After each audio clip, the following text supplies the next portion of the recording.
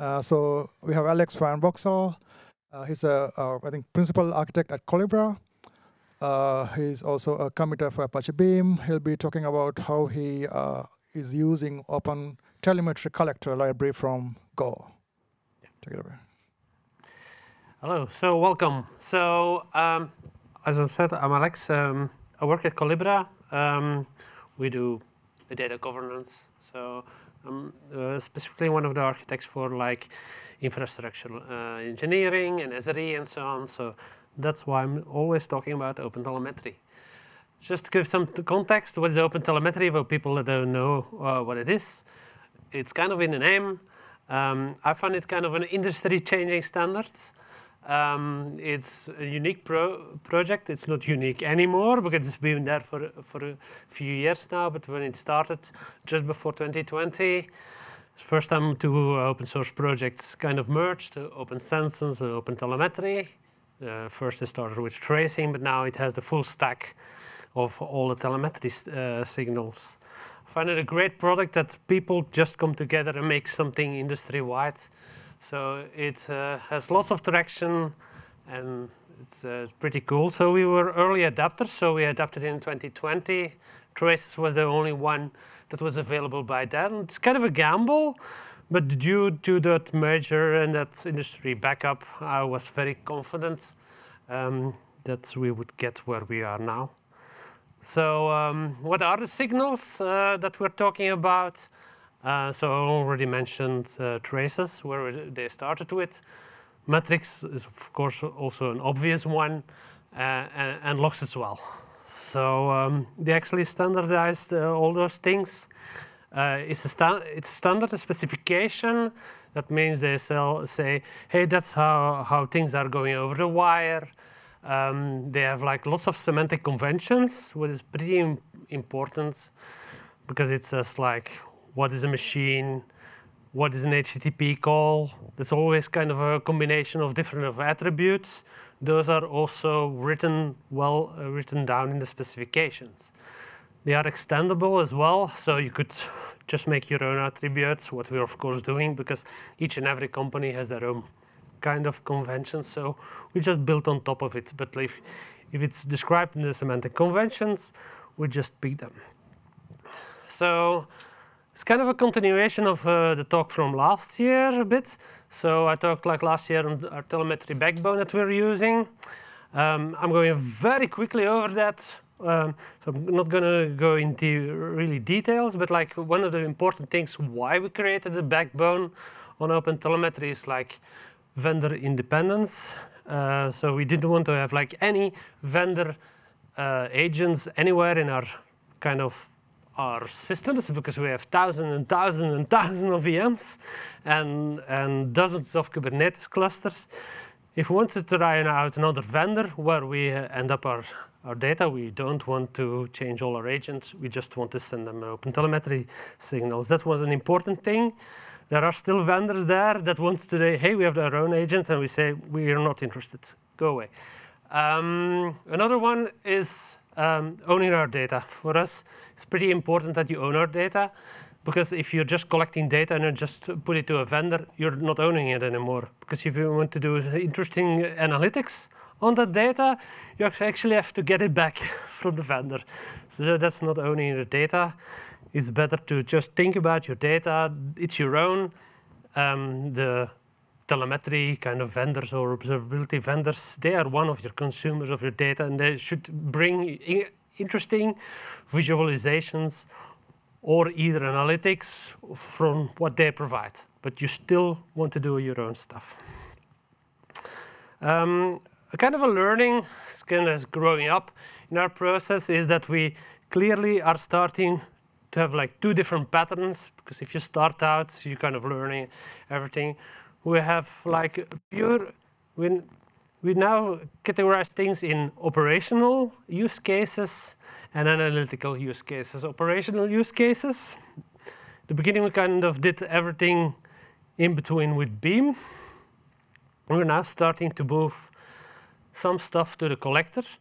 I'll coming back to the collector as, as uh, back uh, later, and why as well. So um, so one of those use cases, for example, was we had in, in Beam trace sampling. We did sampling on that data.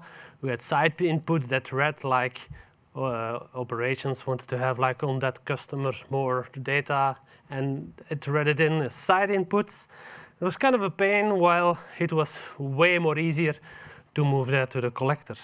So, so that's why we are actually splitting, uh, splitting it up and pushing more operational use cases to the collector, while analytical use cases we're really putting into to Beam, like what is bring business value out of your data, and that's kind of in the category of owning your own data. Um, a bit on those signals. So, like I said, like operational use cases, that's kind of um, um, to the collector. But like for for for the analytical ones, because we have three signals. From all those signals, what are the most interesting ones to do analytical work? Um, let's start with metrics. First of all, this is kind of the, lowest value you would say like, hey, metrics, that sounds like interesting, but from a processing uh, point of view, it is actually the lowest one because most metrics are already pre-aggregated. Um, because you have like in your code some counters, the only thing you have is a counter, but like uh, or like an average or something. That's what an that's what what a metric is. So if you then want to kind of collect or do other kind of business processing, it's like dividing by something, dividing and dividing. By the way, you have like the the the, the value of your data.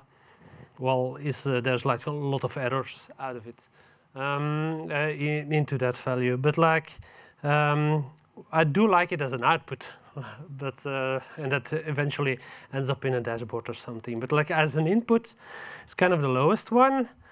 The next one is traces.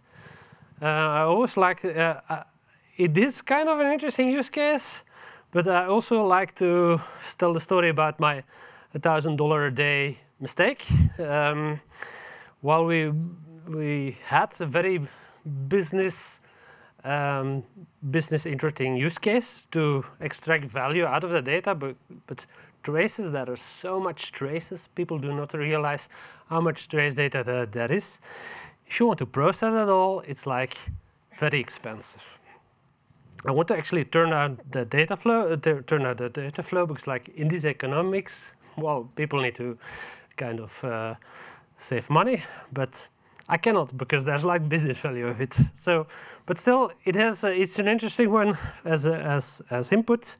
Uh, but my favorite one is still logs, and it should be kind of obvious that logs are the biggest telemetry um, uh, the, the, highest value because if you look at all the big data processing tools that are from the classic, classical time like Hadoop or so, most of the use cases that are there are for log processing. So, um, so logs in our telemetry data is still still our, our highest value. But if you uh, really want to go a bit further, just don't do dumb line logging and just process them and do regular expressions on them. Those are kind of lots of the classical approaches.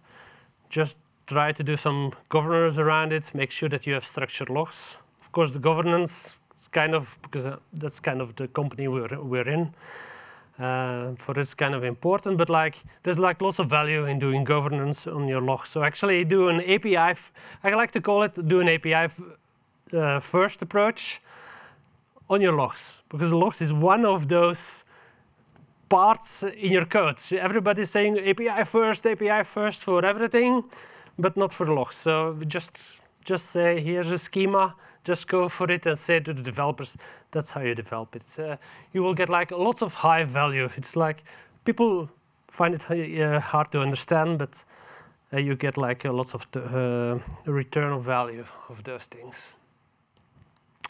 So now, collector, the collector or or beam. So um, first of all, like last year, I said like uh, we're gonna go for Go because it's an interesting use case. developers in the infrastructure engineering space or SRE space, they do understand uh, Go. Uh, till now, we had like every day pipeline was written in Beam pipeline was written in Java. There's only kind of one engineer in my team that actually, aside from me, actually can do those Beam, Beam pipelines. Lots of people can read the code, but just uh, don't uh, don't want to invest the time to learn the Java to, to write uh, uh, Beam pipelines. But they are no go, so if we could kind of move that a bit to uh, to the Go, it would be very helpful for, for them to do. To do. But I, actually thought like the collector itself is also, the, the, so the OpenTelemetry collector is one of those parts of the of OpenTelemetry. Collector is a component, a Go collector that has lots of inputs, lots of outputs, and lots of processors that you can actually pipe together. And that sounds a lot like Beam. It doesn't have like any windowing functionality. It hasn't state timers or whatever like that. It's very simple. Uh, receive, process, transform, and go back, but not the complex analytical use cases. So that is still like a lot of lot of general use cases but um, uh, but those components can be used in analytical analytical pipelines as well, like like a filter or something like that. So I was thinking as like, um, oh, by the way, yeah, that's our kind of our backbone that we have. Like lots of those are the collectors I was talking about with receivers, processors, exporters that go to another one, goes to another one on Kubernetes cluster, goes to PubSub, beam processing going out. But we're actually, we're not going to change that out because it has like lots of high value. But we want maybe to do a bit less beam, add some of the operational use cases here, um, but with shared components. Because uh, if people start here, we can choose to not only um, have values like write transform, uh, tr uh, write it here, and push it actually to the edges. What's impossible to do in, in, in Beam, because Beam writes on like Dataflow or Flink or Spark, you cannot push that to the edges. While if we have shared code in those collectors and in Beam, we can push some of those things to the edges. So that's, that's kind of the, a, a bit the goal already said that. So Go is kind of the common language within infrastructure. Not in every company. Uh, there are lots of people with Python, so you could actually, if you have like lots of people in Python, you could use the Python SDK. But like, we do Go. So I was thinking like, is it actually possible to have those those processors uh, run um, uh, run in uh, run in uh, on Beam Go? Um, just kind of uh, the collector, what does it have, like receivers? Could be something that receives host metrics from a host Kubernetes metrics or has input from your uh, from your application that sends uh, metrics out, goes, goes to a receiver. Processor can be a processor on, on metrics, traces, or logs, one or more, more of them the exporters that exports data to um, Prometheus, um, data, uh, Google's um, uh, operations center, Stackdriver, or or whatever, or, or AWS, it doesn't matter. Um, but you also have like now connectors. They are they are behind feature flags, but it changes one signal to another. So for example, you could have like traces, and it makes like a trace or a log out of it, depending. It's a use case per use case. Um, what I've kind of noticed is, well, my question was then, should I just be able to have that processor being wrapped by a DoFN? And it turned out um, pretty easy. So I started writing Go code. Um, by the way, kind of apologies, I don't have uh, lots of uh, Go examples. Why? Because my computer broke down and most of the slides I made over my iPad. So that was kind of a very interesting experience. But uh, it worked. But like code, code samples, I don't have. Um, so I was thinking like, can I do that? Can I wrap it in a doFN? And it actually turned out pretty easy. So we, the, the collectors as, SDK, the collector, OpenTelemetry collector SDK is pretty nicely done. So you have a processor with a factory, we just wrap that in kind of the setup, and it actually worked. So run, even running on Dataflow, and, and that worked. So then thought is like what lots of people already in this conference do. Let's make an abstraction. Well, no, not make an abstraction uh, uh, on top of it. I actually wanted to use the same OpenTelemetry collector pipeline configuration and just transform it into a Beam pipeline. It was pretty easy. It's YAML. Everybody does it, the, does YAML uh, now. You just take that. This is one of the processors. I just read that, create dynamically a doFN with the attribute processor with that name, and voila. And then there's way more in that configuration, right? Because you have like those receivers, exporters, and so on. And that also kind of works. Um, I do see other companies here do it, saying, yeah, we want to make the ease of, of uh, adoption of Beam easy. So kind of expose familiar tools. But I didn't want to create something new. I wanted to, they're already making pipelines, just like take the things that they already have and actually transform it into a Beam pipeline. And surprise, surprise, it kind of works. Um, also because it's like, because if the, the first step works, wrapping with doFN, this one works as well. Um, tricky thing though, you have the receivers, processors, exporters, and so on. It only works with processors. While because there, a lot of those um, those receivers or exporters doesn't make sense. You you if you have like a Kubernetes receiver, there's no use. Beam does run on whatever you do, not know. It, it doesn't have access to those things. It doesn't make sense. So what we do is like if we see that that's one of the required input, I, I, I give an error. But what does make sense is like uh, a receiver for PubSub, um, PubSub I input and an exporter for PubSub. So I do actually have their native implementation that uses just the Beam, Beam IOs. So uh, you cannot not have all, all things of those pipelines. But if you have like pipelines where components doesn't make sense, that means that it doesn't make sense to run it on Beam either. So, so if you have, you have to look, do you have PubSub? Yes, we have PubSub. Um, do you use something else? Then you just have to kind of have a native implementation on top of the Beam IO.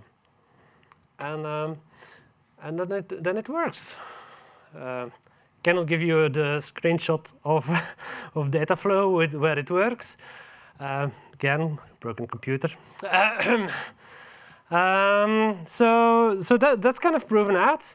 Uh, the next interesting kind of um, exploration is the OpenTelemetry transformation language it feel uh, really feels like like something like the SQL transform, but specifically for OpenTelemetry.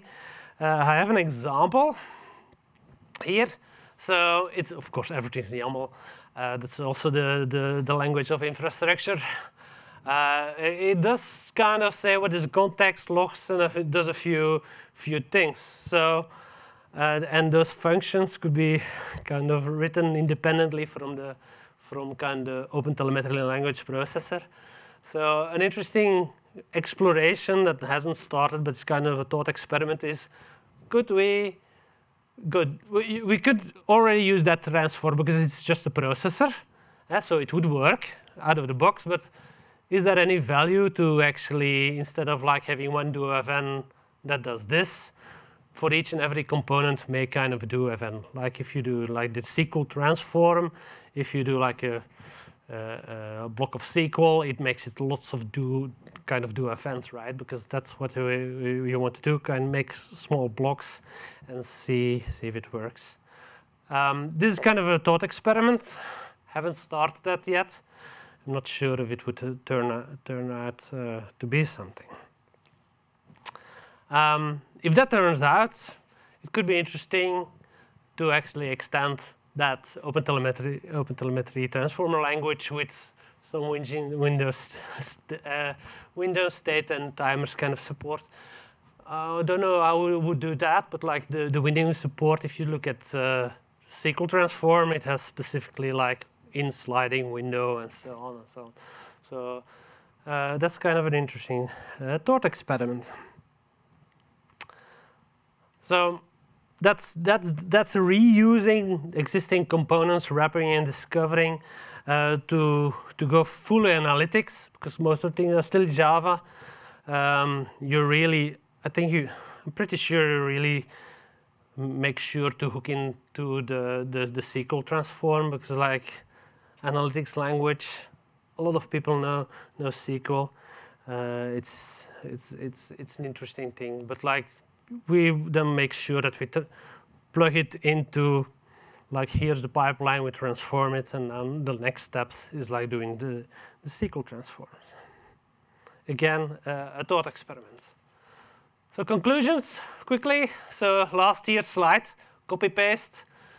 I said this as engineers in the start investigating Go, Go SDK. Um, two years, no, that was last year.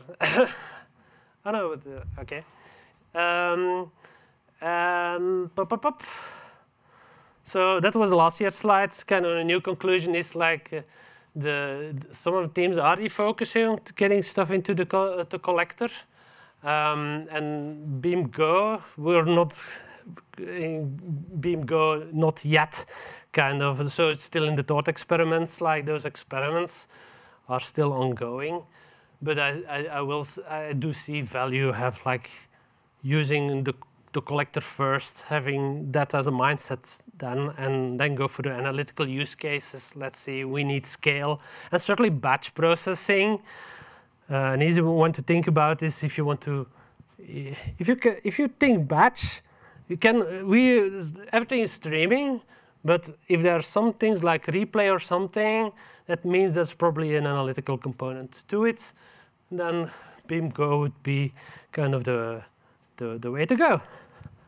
And that's, thank you. Just a bit over time. Questions?